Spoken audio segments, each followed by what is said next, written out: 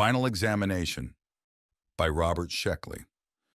I suppose it started some time back, even before the astronomers discovered it, and certainly long before I found out. How far back I have no idea, thousands of years perhaps, or more. But the first I knew about it was one March evening when I opened the newspaper. Jane was in the kitchen, cleaning up, and I was settled back in the easy chair, reading through the lead articles. I skimmed through all the war talk, price controls, suicides, murders, and then glanced through the rest of the paper. One small article in the back caught my eye. Astronomers losing stars, the caption read. It was a human interest story, I suppose, because it went on in that maddening coy style the newspapers use for that sort of stuff. Dr. Wilhelm Mentzner at the Mount St. James Observatory says that he has been unable, in recent weeks, to find some of the Milky Way stars. It would seem, Dr. Mentzner tells us, that they have vanished. Repeated photographs of certain portions of space do not show the presence of these dim, faraway stars. They were in place and intact in photographs made as recently as April 1942, and the article gave the names of some of the stars. They didn't mean a thing to me, and chided the scientists on their absent-mindedness. Imagine, it went on, losing something as big as a star. Although, the writer summed up, it doesn't really matter. They have a few hundred billion left to play around with. I thought it was sort of cute at the time, although in questionable taste. I don't know a thing about science, I'm in the dress line, but I've always looked upon it with the greatest respect. The way I see it, you start laughing at scientists and they come up with something like the atom bomb. Better to treat them with a little respect. I can't remember if I showed the article to my wife. If I did, she didn't say anything in particular. Life went along as usual. I went to work in Manhattan and came home to Queens. In a few days, there was another article. This one was written by a PhD, and it had dropped the kidding style. It said that stars appeared to be disappearing from our Milky Way galaxy at a tremendous rate. Observatories in both hemispheres had estimated that a few million of the farthest stars had vanished in the past five weeks. I stepped out the back door to have a look. Everything seemed in order to me, the Milky Way was still up there, smeared across the sky as thick as ever. The Big Dipper was shining away and the North Star was still pointing toward Westchester. No difference. The ground was frozen under my feet, but the air was almost warm. Spring would be coming along soon, in spring fashions. In the distance, I could see the red glow of Manhattan across the 59th Street Bridge. That seemed to settle it. The only problem I had was dresses, and I went back inside to worry about them. In a few more days, the star story had reached the front page. Stars disappearing, the headlines read. What next? It seemed that millions of stars were vanishing from the Milky Way every day and night. The other galaxies seemed to be unaffected, although it was hard to tell. But they were definitely dropping out of ours.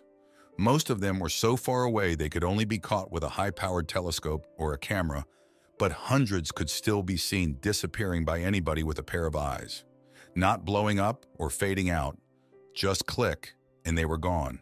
This article, written by an astronomer and a PhD, reminded everybody that only the light was stopping. The stars themselves must have been snubbed out hundreds of millions of years ago, and that the light was finally stopping after traveling all that distance across space.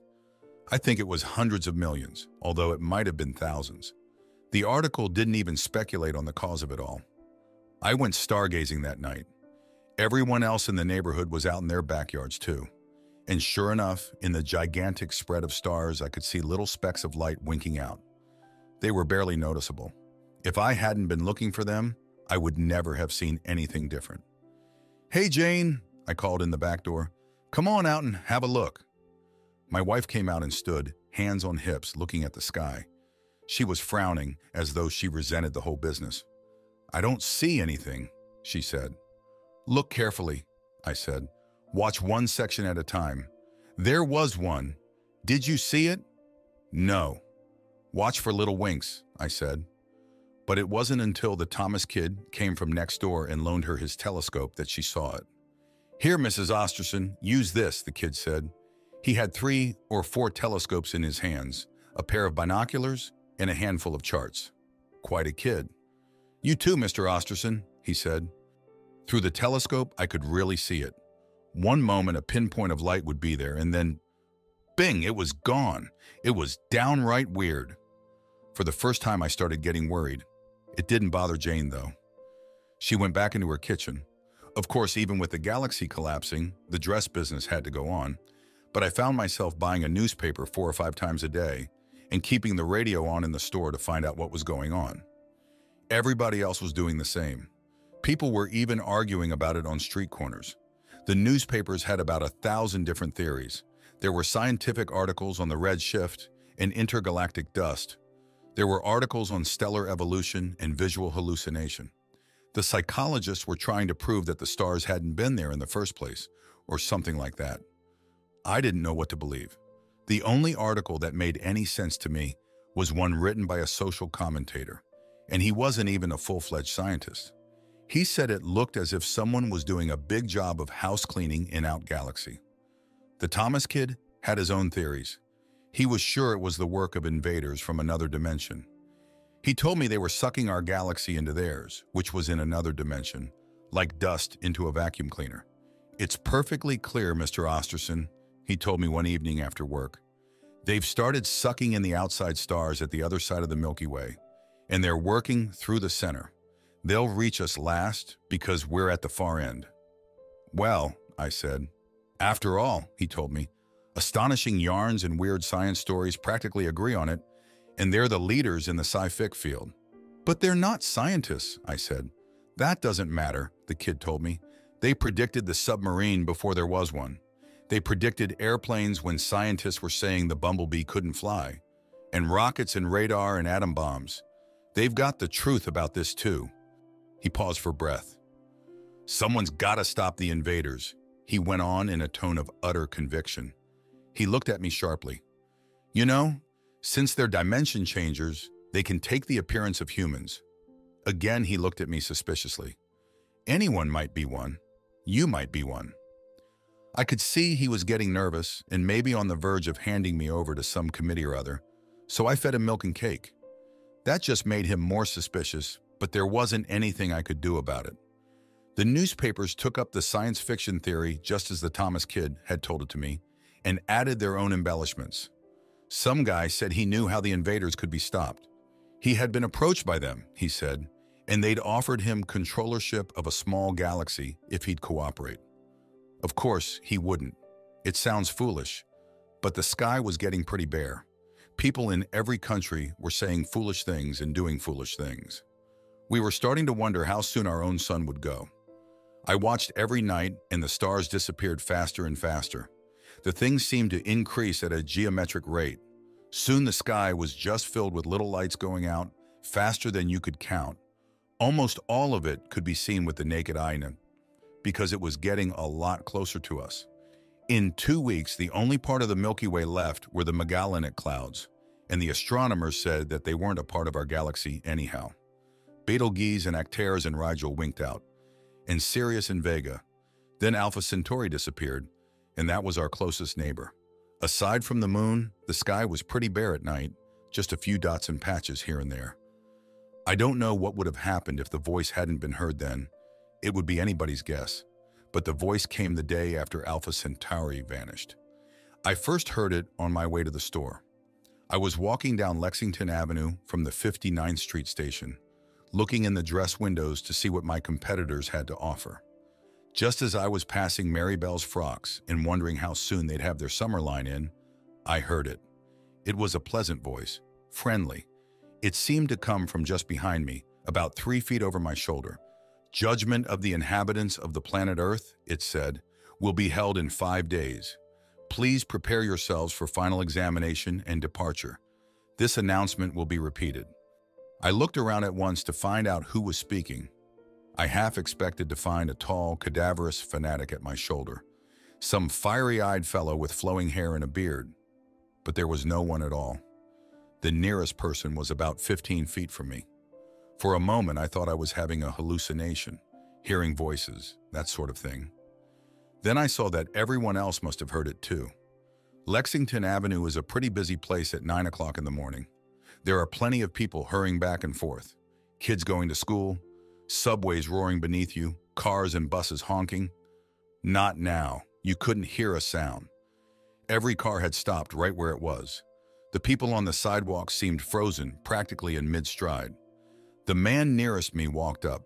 He was well-dressed, about my age, in his early 40s. He was eyeing me with suspicion, as though I might have been responsible for the whole thing. I suppose I was looking at him in the same way. Did you hear it? He asked me. Yes, I said. Did you do it? No. Did you? Most certainly not, he said indignantly. We stood for a few seconds, just looking at each other. I think we, everybody, knew right there and then that it was no hoax. What with the stars disappearing, I mean. A pretty girl in a fur coat walked up to me. She was young, she looked scared, and very defiant. Did you hear it? She asked us. Yes, I said, and the man nodded. Is it possible that she was operating on a loudspeaker? The girl asked.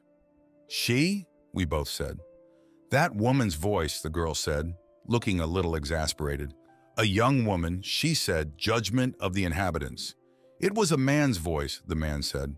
Of that I'm certain. He looked at me and I nodded. Oh, no, the girl told us. A girl, she even had a slight New England accent. It was unmistakable. She looked around for support. The people on Lexington Avenue had gathered in small groups. There were knots of people up and down the sidewalks as far as I could see. The cars still weren't moving. Most of the drivers had gotten out to ask someone else about the voice. Say, pardon me, some man said to me. Am I hearing things or did you hear? That's how it was for the next hour. Everyone, it seemed, had heard it. But every woman was sure it had been a woman's voice, and every man was sure it had been a man's. I left finally and went to my store. Minnie, the salesgirl, and Frank, my stock boy, were already there. They had the radio on, but they were talking over it. Say, Mr. Osterson, Frank called as I walked in, did you hear it? I sat down and discussed it with them, but we couldn't tell each other much. Frank had been in the store when he heard it. Minnie had just been walking in, her hand on the doorknob. Minnie was sure it was a girl's voice, about her own age, with just the trace of a Bronx accent. Frank and I held out for a man's voice, but where I was sure the man was in his early 40s or late 30s, Frank was positive it was a young man, about 20 or 22. We noticed the radio finally. It had been broadcasting all that time, but we hadn't paid any attention. Voice was heard in all parts of the country at 9.03 this morning, Eastern Standard Time. This voice, purporting to be that of, of the uh, deity announcing the Judgment Day, was heard, ah, was heard in all parts of the country. The voice hesitated, then continued. In place of our usual program, we now bring you the Reverend Joseph Morrison, who will speak on... The voice stopped for a moment, then came back with renewed vigor.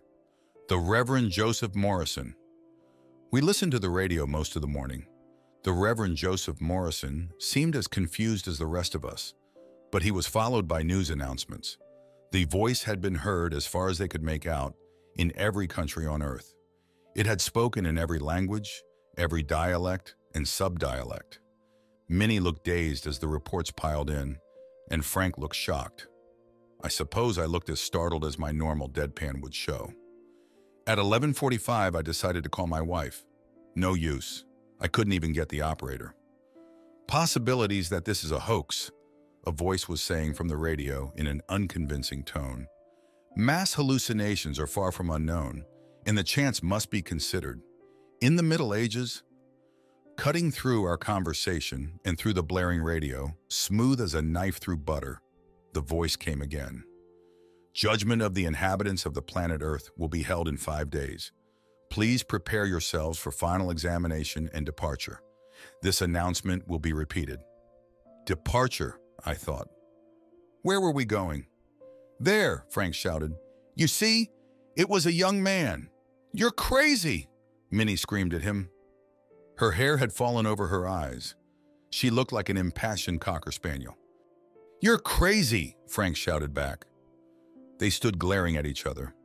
Minnie seemed about ready to throw the cash register at him. Easy now, I said. It seems, it seems like the voice speaks in everybody's language and sounds like the sort of voice everybody would know. But how's that possible? Frank asked me. I don't know, but it's certainly logical. If the voice spoke just in Latin or Hebrew or English, none of the Arabs would understand, or the Armenians. So while it's speaking everybody's language, it might as well speak everybody's dialect at the same time. Should we call it it? Frank asked in a whisper. He glanced over his shoulder as though he expected to find an avenging angel there. Shouldn't we refer to it as him? She, you mean, Minnie said. The old masculine idea that God must be a man is just so much ego wash. Why the feminine principle is evident all through the universe. Why, why, you just can't say him when, when Minnie had never been too strong on ideas. She ran out of breath and stood, panting and pushing back her hair. After a while, we talked about it calmly and listened to the radio. There were more speakers and another survey of the countries that had heard the second announcement. At 2 o'clock, I told them to go home. It was no use trying to get any work done that day. Besides, there were no customers. The subways were running again when I reached the BMT, and I rode to my home in Queens. Of course you heard it, my wife asked me at the door. Of course, I said. Was it spoken by a woman in her middle 30s with just the trace of a Queens accent? Yes, Jane said. Thank God we can agree on something. But of course we couldn't. We talked about it all through supper, and we talked about it after supper. At 9 o'clock, the announcement came again from behind and above our shoulders. Judgment of the inhabitants of the planet Earth will be held in five days. Please prepare yourselves for final examination and departure. That is all. Well, Jane said, I guess she means it. I guess he does, I said. So we went to bed. The next day I went into work, although I don't know why.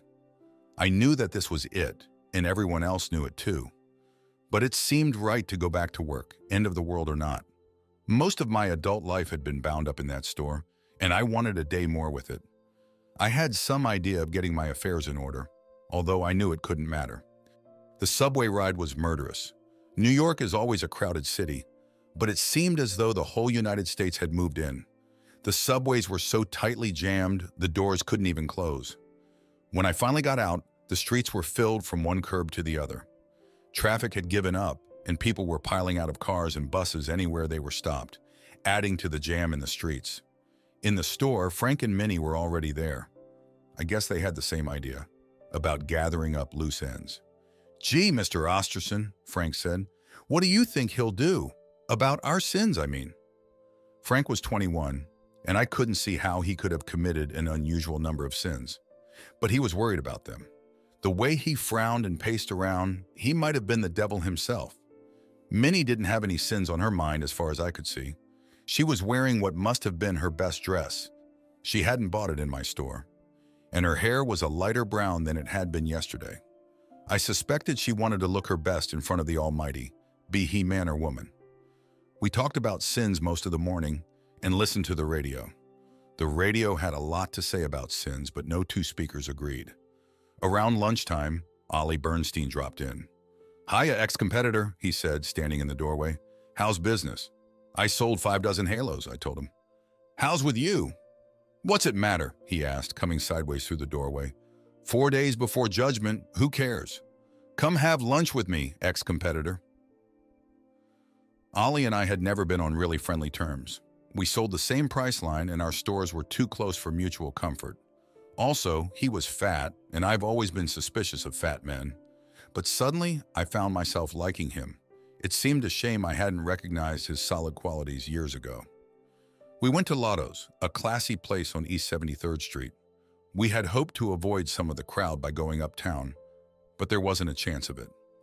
Lotto's was packed, and we stood three quarters of an hour for a table. Seated, we ordered roast duck, but had to settle for hamburger steak. The waiter told us people had been walking in and ordering roast duck all morning. Lotto's had a radio, probably for the first time in its existence, and a minister or rabbi was speaking. He was interrupted by a news announcement. The war in Indochina is over, the announcer said. Peace was declared at 7.30 this morning. Also, a general truce has been called in Mongolia and in Tanganyika. There was a lot of that, in Indochina, it seemed that the rebels had given up the country to the French, declaring that all men should live in peace. The French immediately announced they were withdrawing their forces as fast as they could get planes for them.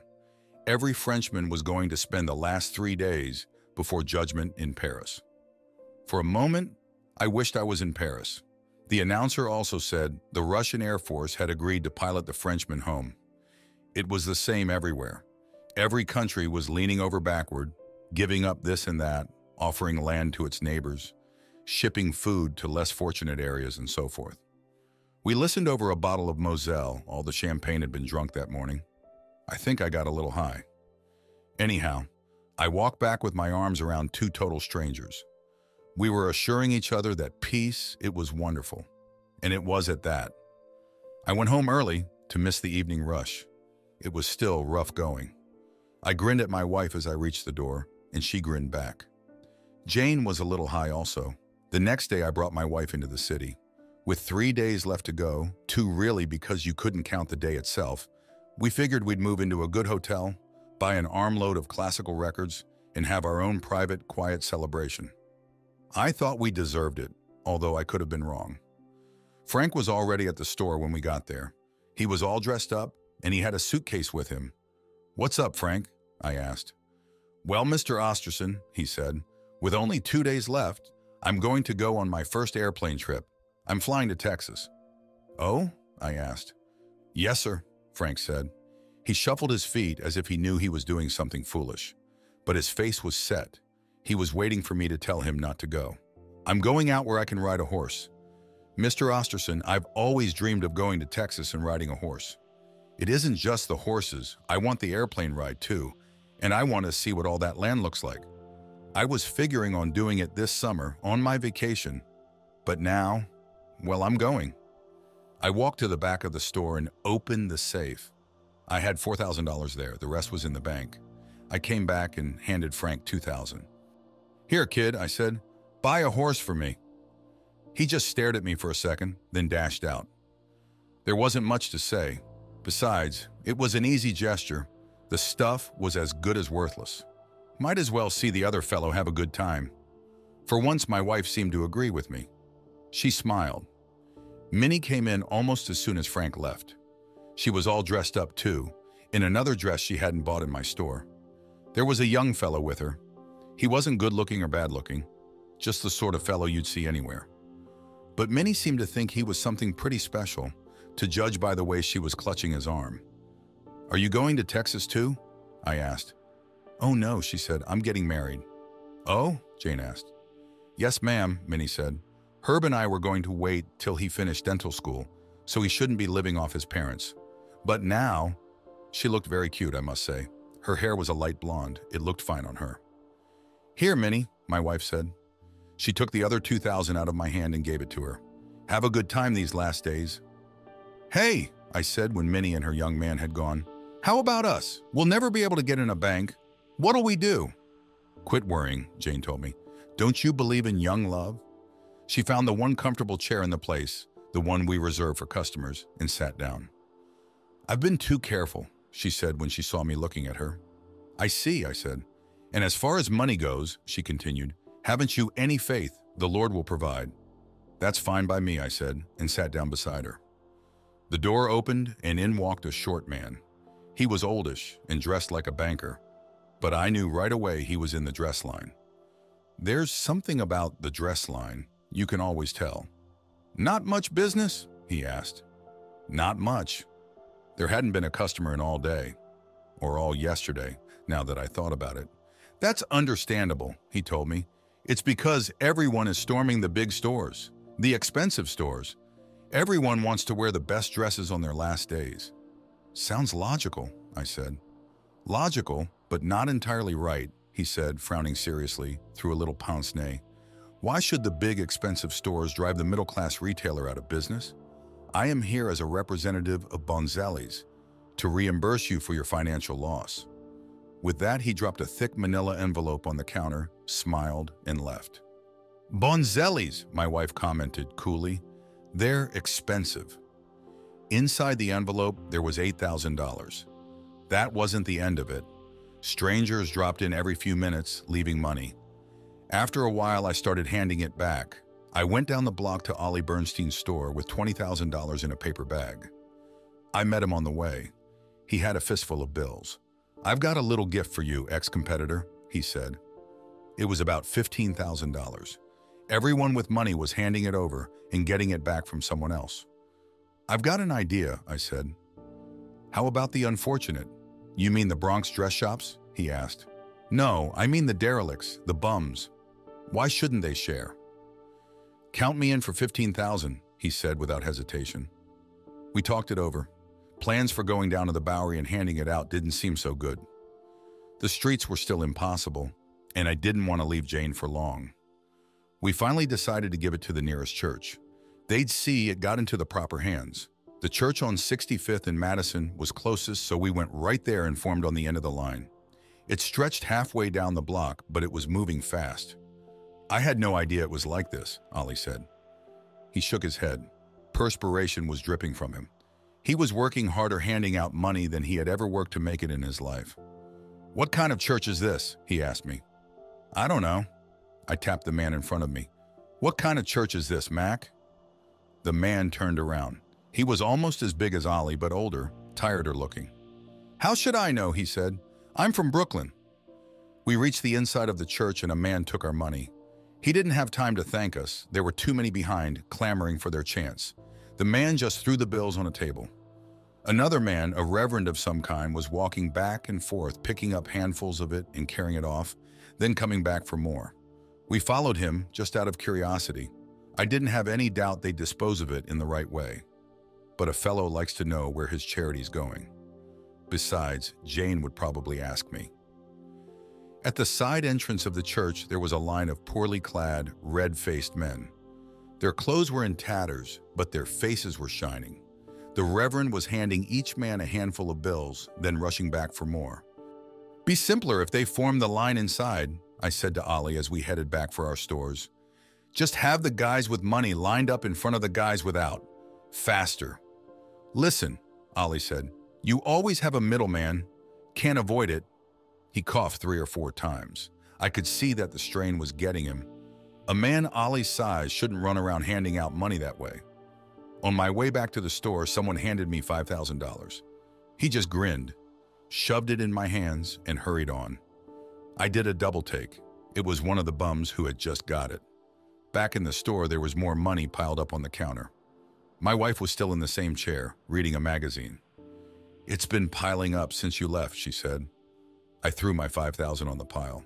You should have heard the radio, she said. Congress passed about two dozen laws in the last hour. They've given everybody every right you could think of, and a few I never dreamed existed. It's the age of the common man, I told her. For an hour I stood at the door handing out money, but it was just plain foolishness. The streets were mobbed with people handing out the stuff. Everyone wanted to give it away. It was a game.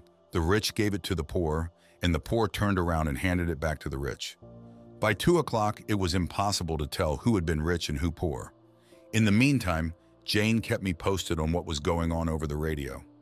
Every country on the face of the earth was passing emancipation acts as quick as they could get a quorum together. The age of the common man had really come in, two days before deadline. Jane and I left for lunch at 3 o'clock. We both knew it would be the last time we'd see the store.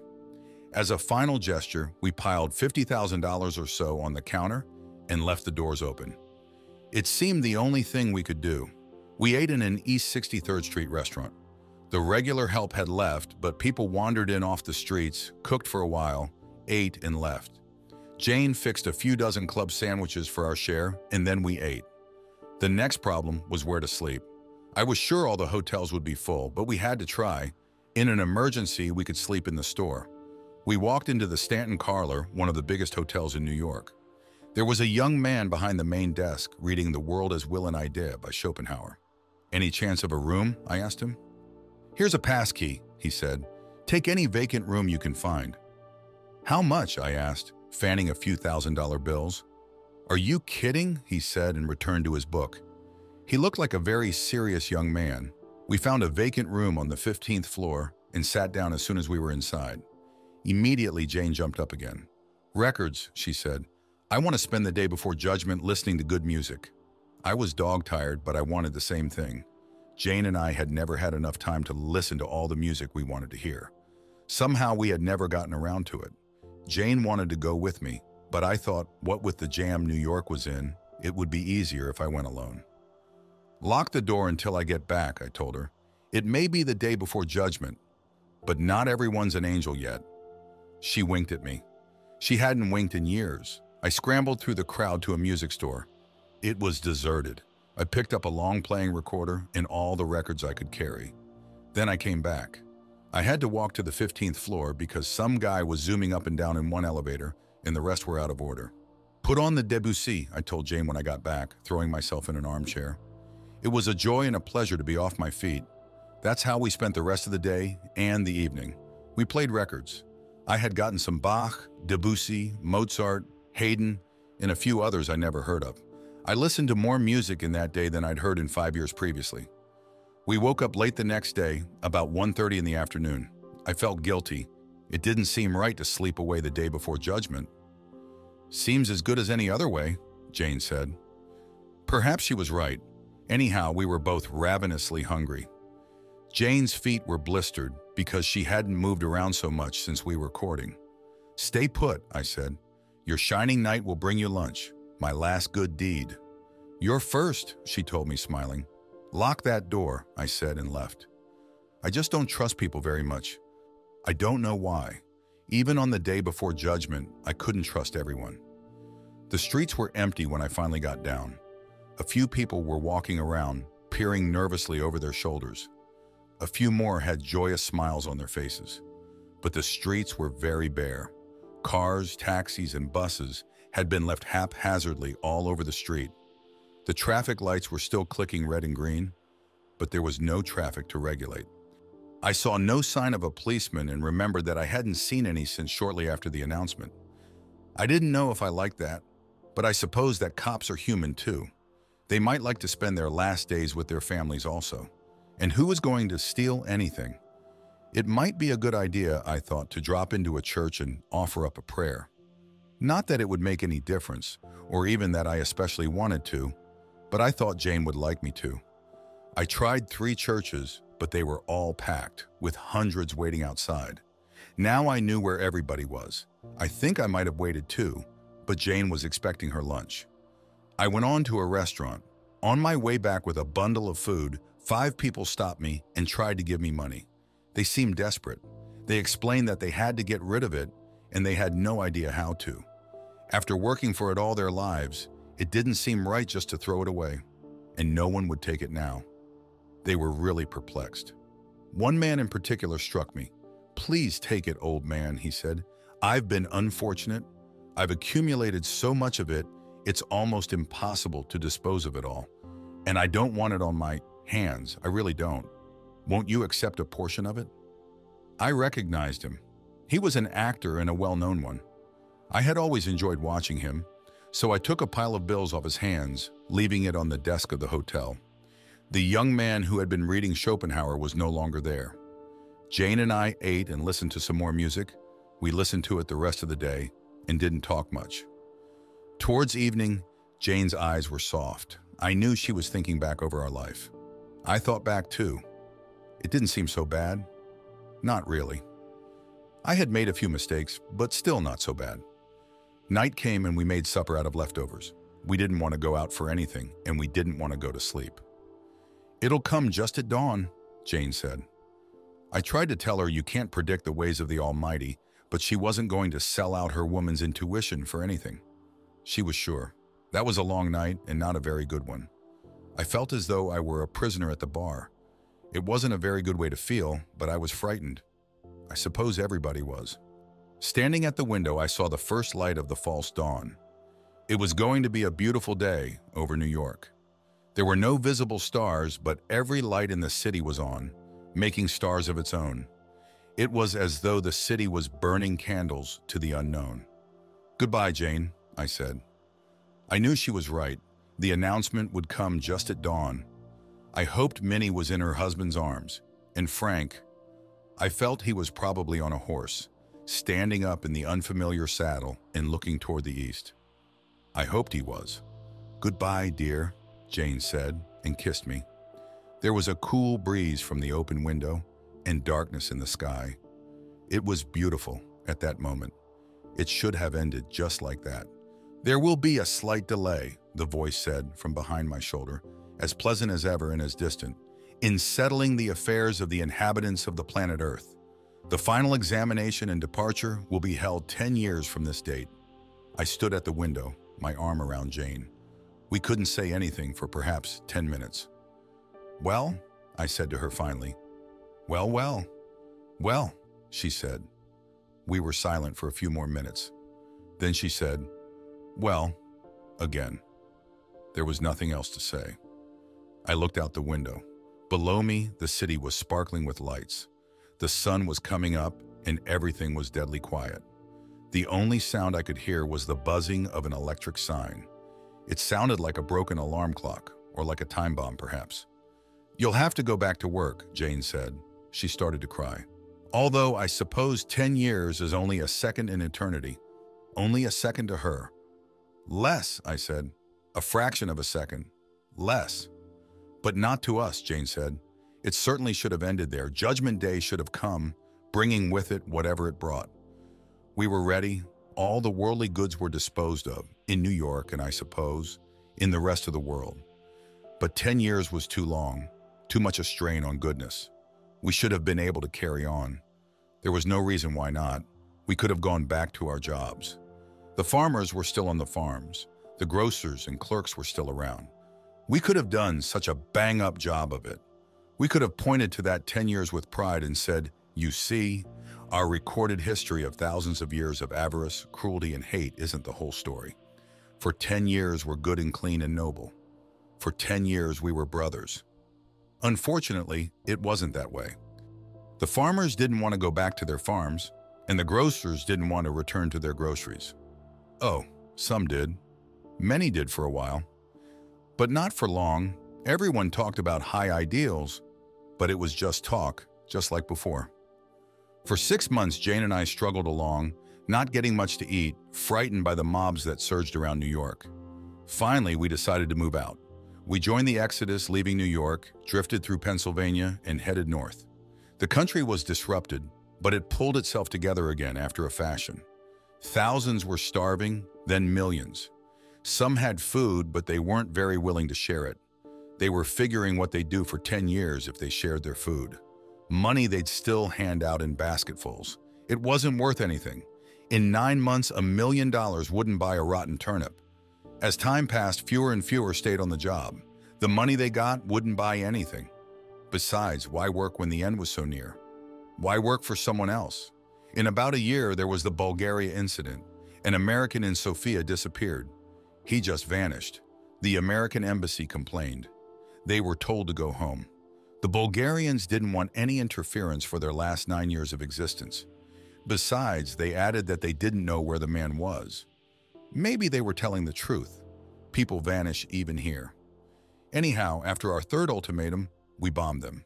The attack coincided with a bombing launched on us by China, who decided we were interfering with her trade with Japan. Great Britain was bombed and bombed someone else. Everyone started bombing everyone else. I took Jane out of the city where we were staying and headed for the open country. We ran and stumbled over the fields with the roar of the planes above us. We hid in ditches. Jane was cut down by machine gun bullets in one raid. Perhaps she was fortunate. She missed the atom bombs the next week, and she missed the hydrogen bombs a week later. I wasn't around when they dropped the H-bomb. I was in central Canada and heading for open country, but I heard the noise. I saw the smoke. They had bombed New York. After that, everyone threw the biggest bombs they had, as fast as they could, at anything that might be called a target. Radioactive dust followed, and bacteria followed that. Gas was used, some stuff that hung close to the ground for days. Only a good-sized storm or two would blow it away. At this time, I was heading north. Most of the traffic was south because there was a famine in the north but I figured I'd rather take my chances with starvation than with the bacteria and dust. As it was, the germs almost got me. I was sick for a day. I wanted to die. If I'd had a gun, I would have shot myself, but I lived, and the bacteria never touched me again. I joined up with a few men below the Arctic Circle, but had to leave them. One of them fell sick a day after I joined, and another followed him. I figured I was a carrier, so I left in the night, still heading north. They bombed the north too, to make sure no one got the pitchblende. I ran through the woods. I hid in caves. At night, I would look at the moon and the little sprinkling of stars left across the sky. After the fourth year, I didn't see any more human beings. I didn't have time to look. All my day was spent filling my belly. It was a full-time job, just to gather grasses and perhaps kill a rabbit with a stone. I became pretty handy with stones. I didn't even know when the 10 years were up. To sum up, I don't suppose I'm the last man on Earth.